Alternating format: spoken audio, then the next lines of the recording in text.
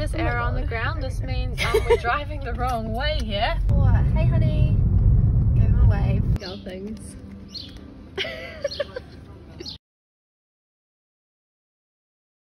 Go fish. Oh, nice one. Oh, got one. Oh, beautiful.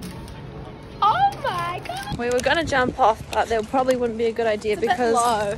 yeah, low tide.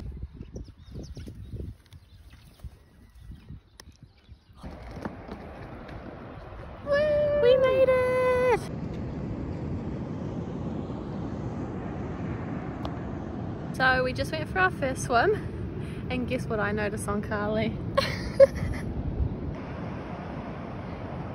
So to everyone who's um, thinking the weather's shit in Raglan today,